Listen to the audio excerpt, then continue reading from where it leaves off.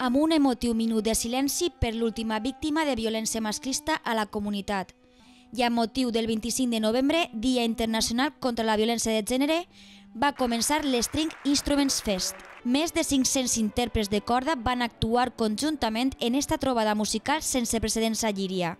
L'acte va comptar amb la col·laboració de la Federació de Societats Musicals de la Comunitat Valenciana i l'empresa d'instruments musicals Consolat de Mar, així com el suport de la Diputació de València. Un dia molt gran per a Llíria i un dia molt gran també per, a, per al conjunt de la província de València, en un cada setmana en el que la immensa majoria dels pobles i ciutats estem celebrant Santa Cecília, el, la patrona dels, dels músics, no?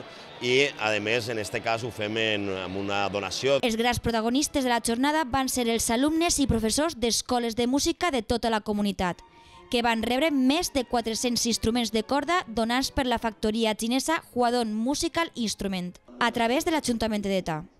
El pavelló Pla de l'Art va ser així l'escenari del multitudinari concert oferit pels alumnes de les escoles de música presents, baix la direcció del mestre Vicent Balaguer.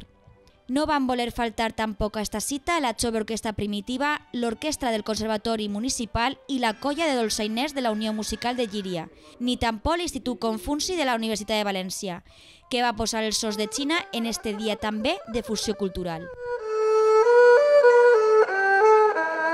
Des de la música podem ser feliços i aquí tenim aquesta oportunitat d'expressar els valencians, en Llíria, la capitalitat de la música, este encontre en els instruments de corda, que ens agermana en la ciutat de Pingú i que realment és un repte eh, per a que els nostres músics puguen tocar junts i llançar aquest missatge al món. Disfrutar de les delícies girianes com el tradicional plat d'arròs amb bledes va ser la millor manera de finalitzar aquest esdeveniment històric del Festival de Senyàs 2017, on Gíria va projectar la seva gastronomia i la música al món sencer.